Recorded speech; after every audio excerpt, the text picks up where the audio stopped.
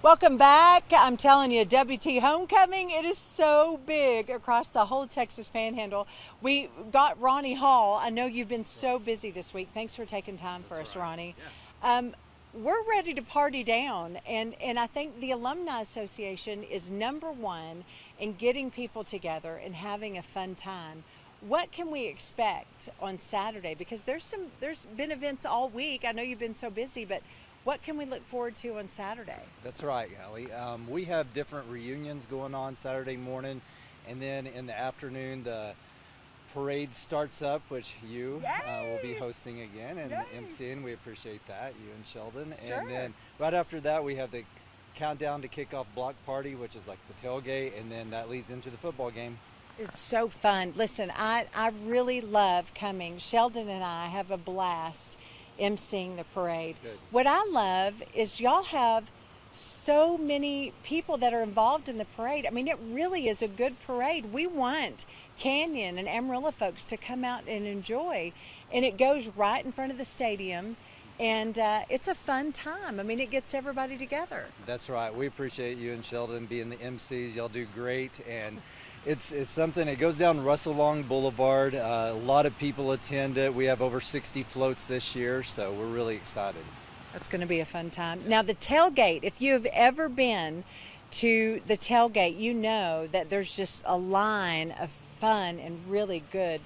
Uh, you may get uh, to play games, you may be playing some cornhole, there's prizes, but the food. I mean, y'all really have some great supporters in uh, the big, I, I think it's a party before the game. That's right. Yeah, we have uh, down 26th Street. It's right in the middle of campus. We have a ton of food vendors. We have um, people that bring families that bring out food. Uh, it's a lot of people, packed full, uh, fun.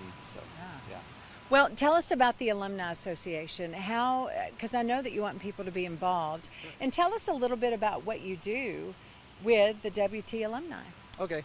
Uh, one of our main uh, priorities is to engage alumni, and so we have a really strong Canyon and Amarillo campus chapter that helps out with us.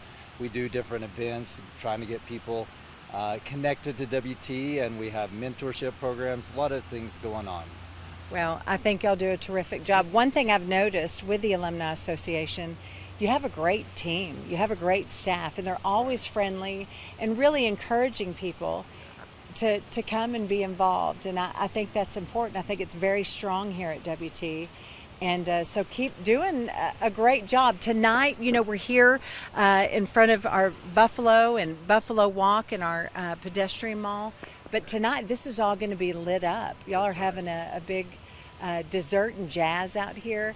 And Sheldon told me before I left the weather is going to be spectacular. So you're in for a good treat. Good. We're excited about tonight. Uh, we'll be having our banquet honoring our distinguished alumni, and we come out after the banquet here in front of Old Main. It will be lit up. It's just looking forward to a beautiful evening outside. It's going to be good. Okay, listen, Buff Homecoming, we're going to come back. We have uh, some more to talk to. Preston's going to be with us. We're talking some football. Ronnie, always a pleasure. I hope that we can come back and see you more and, and talk more about uh, the Alumni Association. And thanks for taking time. You have a busy, busy day and a busy week today, so thank you. Thank you so much. All righty, Sheldon, me and you, 1 o'clock, the parade Saturday. We encourage everyone to come on out. Stay with us.